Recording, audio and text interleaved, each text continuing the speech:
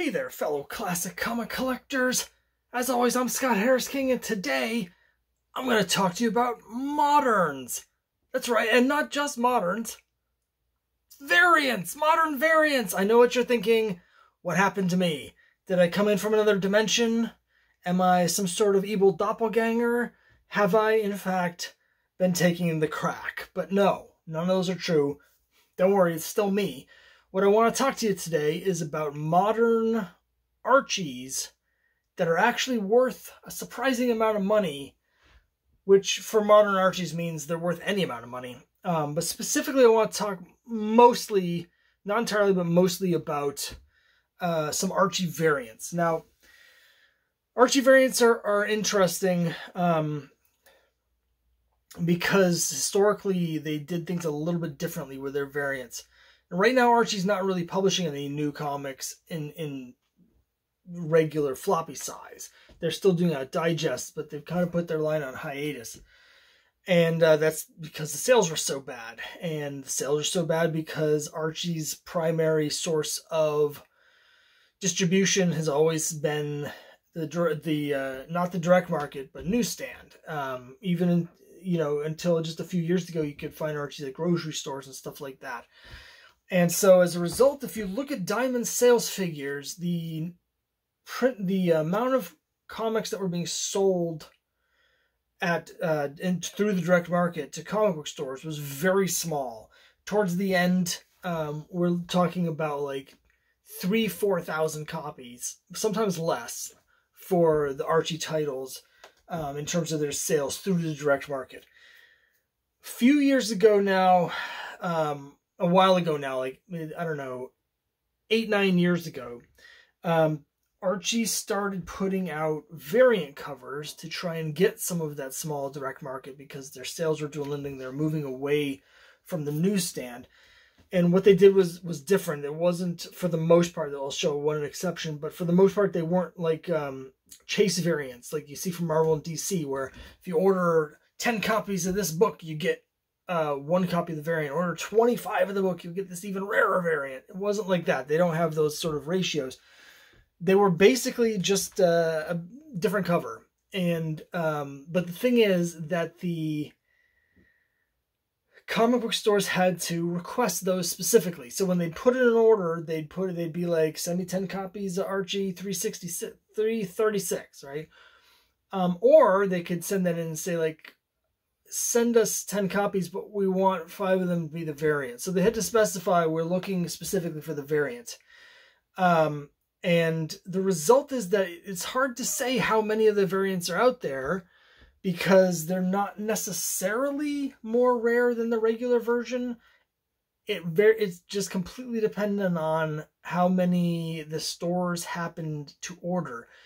But the fact is that um, you're not really going to be getting, you know, grocery stores ordering variant covers, so they're only coming from the comic stores. The direct market for Archie was incredibly small, and only some unknown portion of those are the variants.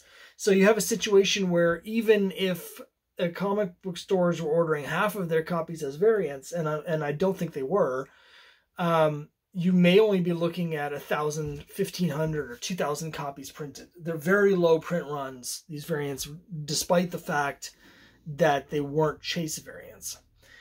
Uh, and so what's happened is that some of those have started to get some value. Now, most of them aren't super expensive, but for Archie comics, most of them you can find in the dollar bins or you can find cover price. A lot of comic stores will have like, if they have a kids section, it's just whatever the Archie stuff is, it's all over there at cover price. Um, so there's deals to be had if you can find these comics because most of the dealers are not going to be pricing them appropriately because most people, most of the dealers aren't going to know that these comics are actually worth money. So I know you can find some of these. So I'm trying to help you out because I'm going to be looking for some of these too. I just realized, you know, I've been collecting Archie hardcore for a number of years. So I have a lot of these variants in my collection. When I started buying the, the Archie stuff new at my LCS and put it on my subscription pull list, um, which was in 2012, I think. Uh, I realized relatively early on that they were doing these variants. They'd started just before I started collecting, and so I told my comic book store to just get me the variants.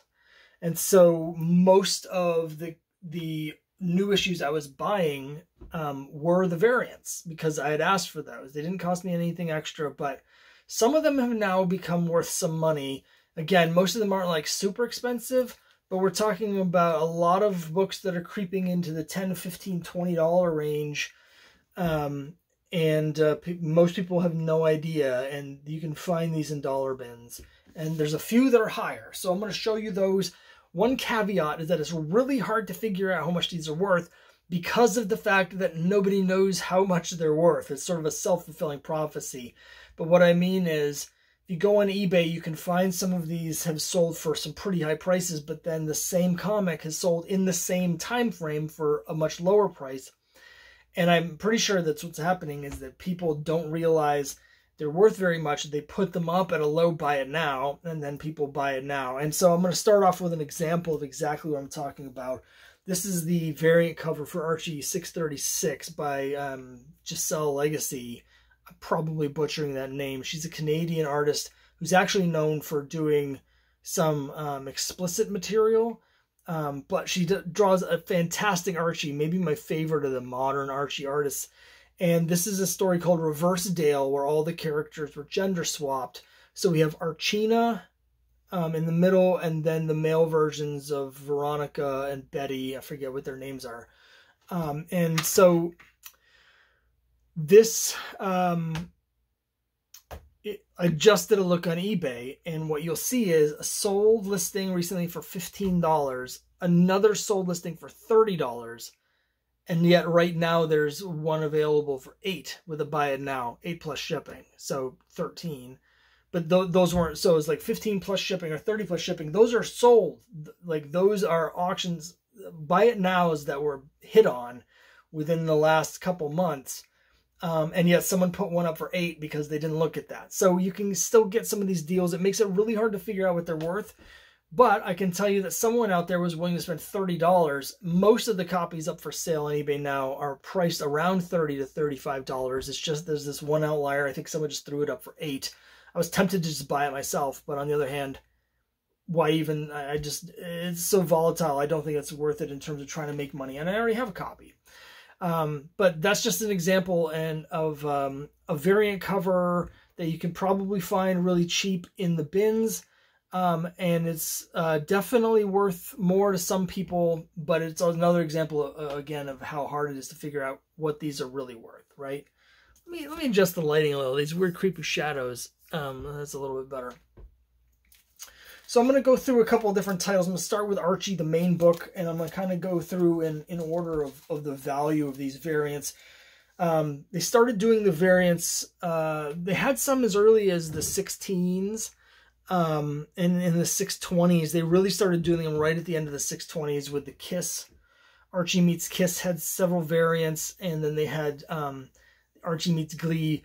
But I started getting them around 636. There's there's some for like 635 as well. I have most of the variants starting around 645. Um, here's one. This is this is probably a 10 to 12 dollar book.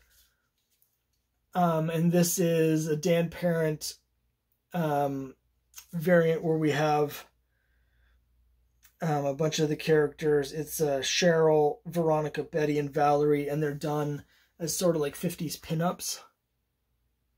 Um, Dan Parent is someone who has a lot of. Um, he's a sort of a regular Archie artist for the last twenty some years. He has a lot of these variants. And uh, the reason I was inspired to do this is I recently got one of his variants, one that I won't be talking about in this video, but I'll just um, I won't be showing. I'll just mention real quick.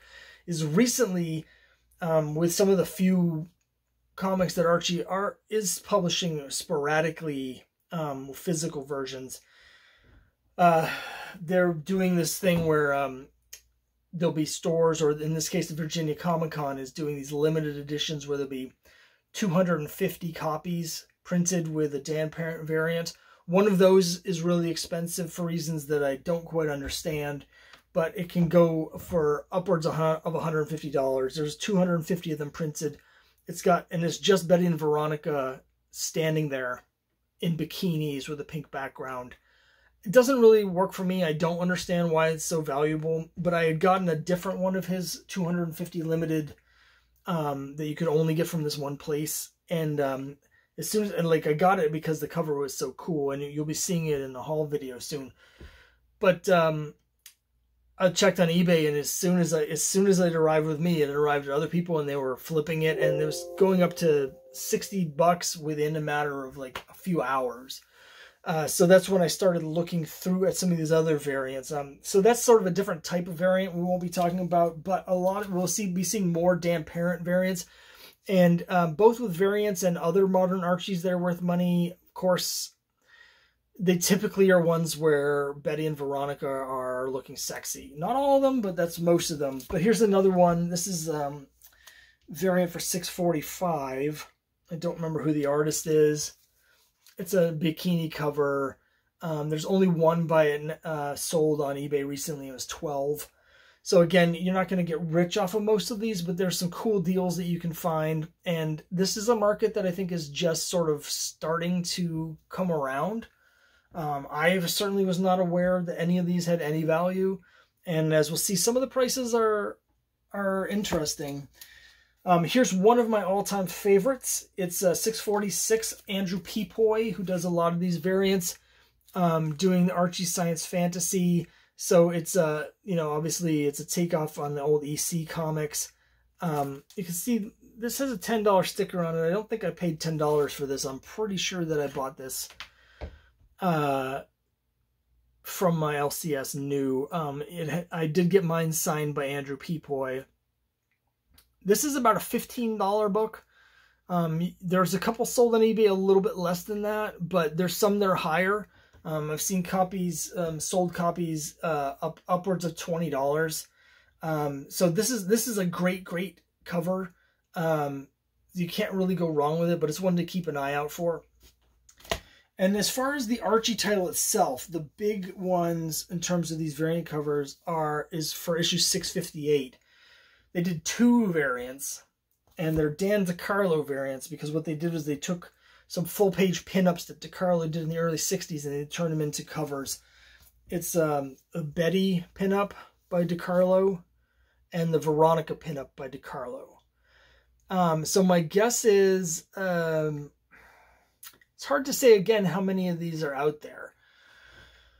My guess is that uh, there's probably a few more of these than some of the others because people like me were buying both of them. But on the other hand, maybe not because there might be people that only wanted one or the other. And as a result, there's multiple versions of this comic um, because there's also a regular edition. Um, my copy, my Veronica, is, has a couple issues in terms of cover bends and dings. Um, the, my Betty is in nicer condition. Uh, this is a twenty to twenty-five dollar book each. Um, you can see uh, eBay sales. Um, the lots of the both of them are upwards of fifty. Uh, so this is these are um, things to look for if you're looking through uh, Archie bins, um, or if you're looking uh, at again racks of you know comics, um, kid-friendly comics. They might have these out there these are sort of the big ones from the Archie title. It's, again, is you 658, the Dan DeCarlo, Betty, and Veronica pinup variants. And those are 20 to $25 each. Um, now let's jump over to Betty and Veronica. So Betty and Veronica was a little bit later in terms of getting into the variant covers. And I should say that a lot of every issue of Archie and uh, for like the last 30 issues and the last, I don't know, 15 for Betty and Veronica at least had variants, and not all of them are worth anything. A lot of them are just worth the same as regular price, including some that I really dig. But again, the ones where this Betty and Veronica looking sexier are the ones that people tend to pay for. Um, it's not really my thing, but um, I do have some of them because I was buying all the variants. Uh, here is the Marilyn Monroe um, famous pose sketch cover. Now, some people, uh, again, are they list this as a Dan Parent variant. It's not. It's by Jeff Schultz. Um, he was doing a thing at this time where he was doing some of the variants, and what he would do is they weren't inked. So he'd draw, he'd do it um, pencils only, and then they digitally color over the pencils. Um, and so uh, gives it an interesting quality, almost like a little like gray tone from, from the 50s and 60s in those DC books, the gray wash. Um, but uh, not his best work, not my favorite. I think Veronica in particular looks kind of off model here. Um, this is a 10 to $15 book. Here's one that's a little hard to peg. It is an Andrew Pepoy variant for 276 with both Betty and Veronica in swimsuits. And uh, only one sold listing, and it's just $10 um, on eBay. But um, the print run at the end of the series was very low. I mean, I, in my head, I thought that the series had ended with 275, the big anniversary issue, and they had a whole bunch of variants, including a really well known Adam Hughes variant. But actually, the series ran until 278. And these last couple issues here 276, 277, 278 very, very low print runs. And so um, I have a feeling that this is a book, uh, even though the one recently sold for 10 the other ones that are available on eBay are priced significantly higher, more like in the $30 range. I kind of have a feeling that $10 might be an outlier. It's hard to tell. This is a book that I think should be um, higher than 10. And uh, again, an interesting, interesting niche. Another $15 book or so is the uh, Betty and Veronica We Can Do It sketch cover, again by Jeff Schultz. Um, and uh, you can see mine's signed by Jeff Schultz. It's also signed by Dan Parent. His signature smudged. And we're going to see that again in a minute because I was at some show where I got a bunch of stuff signed by Dan Parent. And I think I got some of some books here, um, a couple books that were just a dollar each. There was a whole table of of this stuff for a for a buck each. And I bought some stuff and I had Dan Parent sign a bunch of things and his marker smudged all over all of them and just looks horrible. so it's disappointing because I'll show you a really cool cover in a minute that's just got a giant ink smudge all over the front because his signature smeared. But anyway, mine's signed. Again, this is about a $15 book. And now we'll get into the, the big one in terms of variants. Um, it is issue uh, 267 the Betty and Veronica Mermaid variant by Fiona Staples. And this is one you want to keep an eye on when you're when you're looking for bargains because this is about a $45 book. If you look at the eBay um, sold listings, this is about a $45 variant. Um, it's and it's really cool. I really like some of the stuff. There's a little jughead fish it's just really cool. It's a really good one. That's why I bought it. I actually hadn't been buying Betty and Veronica until I, until I saw this one. I bought this issue and then I started buying the series with this. And at that point, i am not actually huge fans of the series Betty and Veronica or the characters that much. I'm a Jughead guy. Um, but I was trying to support all of the Archie titles, just trying to support the whole line because they were doing so poorly and I wanted to help keep them being published. So that's why I ended up with these. And now it's, I guess it's paying off. Um, finally, uh, oh, wait, I've got one more. Now, I mentioned earlier that Archie typically doesn't do the chase variants, but there's um, a couple exceptions, and this is one of them.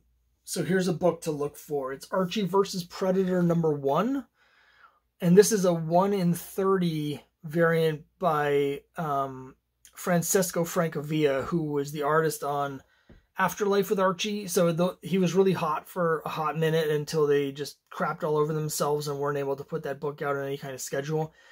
But this is something where they had teamed with Dark Horse, and Dark Horse does do the chase variants. So for this series and the other team ups like this, where they're teaming up with other publishers, you may see these chase variants. In this case, again, one in thirty variant. Um, and I paid when this came out. My LCS sold it to me for twelve. Um, there's one sold listing right now on eBay recently, and it was for $28.50 plus shipping. So this is basically a $30 book. So you, one you want to keep an eye out for. Finally, let me just talk a little bit about some modern Archies um, that are worth money that are not variants because there are a few of those as well. And again, they're mostly booked to Betty or Veronica looking sexy on the covers. There's certain bikini covers um, that I don't have because I don't collect these titles I, that I probably did have at some point because I tend to get rid of them. Um, but things like Betty and Veronica 251 is a Dan Parent cover where Betty and Veronica are both wearing bikinis and standing in the snow for some reason. Um, that's a, like a $20 book. Veronica 28 is like a 30 or $40 book. It's got a Veronica in a bikini diving into a swimming pool. So just keep an eye out for those sorts of covers. Um, and uh, Veronica 201. Now, the print run on Veronica and Betty were very low at the end of those titles. Veronica with issue think 208 switched so that Veronica wasn't even in the title as the lead anymore. It was called Veronica Presents Kevin Keller. He first, I'm going to show you the book he first appeared in here. Um, is 202. You can see I paid 50 cents for mine because they handily put a sticker on it. This is about a $20 book now. Um, it was more when it first came out because Kevin Keller was really hot and popular when he first came out. Um, it's cooled down some, but it's still about a $20 book. There's two versions of this. There's a second print as well with a different color scheme um, on her dress. This, I'm pretty sure, is the first print. Um, but this is a book to look out for, again, about a $20 book. Now, this is issue 202. Again, with around issue 208, they changed it so it was like Veronica Presents Kevin Keller. I think the book ended around 212, maybe 214. I, forget exactly was canceled, and then and then they just had a Kevin Keller series after that. So the print run on these issues right at the end was very low, and there's some some ones to look out for. This is one of them again, about twenty dollars. Here's one that's about a ten dollar book with a great cover. That and this is the one where I have the signature that's smeared all over it, but it's um the Veronica catsuit spy cover. She's kind of dressed like Black Widow, complete with the wristbands there's a matching Betty cover with the exact same design, um, where it's got the sketch in the background. It says Betty here. They go together. That's about a ten to fifteen dollar book um, because the, the print runs very low and it's a very cool design. And then uh, here's a big one that I had no idea was worth anything. In fact, I just put it in a bag and board because it was bouncing around loose. And I think I'm probably picked it up at that dollar uh, for a dollar at that show that I mentioned. I'm not sure I paid a dollar for it though, so it's not going in my dollar bin trading challenge. Um, but it's Betty and Veronica 261, the which has a story Betty the Vampire Slayer versus Vampironica. And this is the first appearance of Vampironica because um, when they Archie did their horror line a couple years ago, they brought Vampironica back. It's basically Veronica um, she's dressed like Vampirella, and she's a vampire who uh, sort of turns. She stays good, and so she is fighting against other vampires. And so this is the first appearance of Vampironica. Holy smokes! I had no idea that this book was worth anything. Um, my copy is nice. It's got a, some wrinkling at the top and and a couple dings, so it's like I don't know. It's like an eight or 8.5, maybe an 8.5. Um, a raw copy described as a 9.0 sold on eBay recently for $200 and a CGC 9.8 sold recently for $550. No idea why. I don't know why this book in my hand is worth between $150 and $200. It's lunacy to me, but but whatever. So uh, this is a big one to look out for. Um, so just rule of thumb again, towards the end of the series, low print runs, very low on some of these books. Hard to say how low because we only have the diamond figures and they were still distributing in newsstands. But when by the time we get to this era of Betty and Veronica, you're talking about no more than like 4,000 going to newsstands. And so when we get into the variants, there may only be a thousand, two thousand of some of those, even though they weren't chase variants. So that's just an overview of modern Archies. Again, rule of thumb, uh, if Betty and Veronica are looking sexy, particularly if they're in bikinis, then it may be worth money. Um, particularly if it's a variant, because that's going to cut down is probably a, a, maximum of a quarter of the print run, probably less than 10%. Uh, and again, most of them aren't like, you know, you're not going to retire off of these, but if you're finding these books in dollar bins or for cover price, like a lot of them can be found, um, you know, having a number of these books that are 10, 15, 20 dollar plus books uh, is cool. And again, there's books like this that you can get. Um, oh, and the other one I wanted to mention, I'm sorry, I skipped over because I don't have it, is Veronica 201. So here's, again, here's 202, the first Kevin Keller. The issue before this has a Veronica cover where it's done like a tattoo design, like an old-fashioned sailor's tattoo. So it's got Veronica and it's just, it's done like a tattoo with a black cover. That is a 25 plus dollar book, but there are copies I've seen, raw copies I've seen selling on eBay as high as $85. Um, but it looks to me like it's more 25 to 40, but that's a book you want to keep an eye out for. So a lot of a lot of cool books right at the end of the Veronica run that are worth 10, 15, 20, 40 dollars or more. And then of course again the big one Betty and Veronica 261 um, and um, 267. So uh, hope this has been of interest to some of you. I know I am flummoxed by the fact that any of these are worth more than cover price. Uh, never crossed my mind that any of them would be worth more than cover price, but that's it for now. Thanks very much for watching, and uh, I'll see you next time.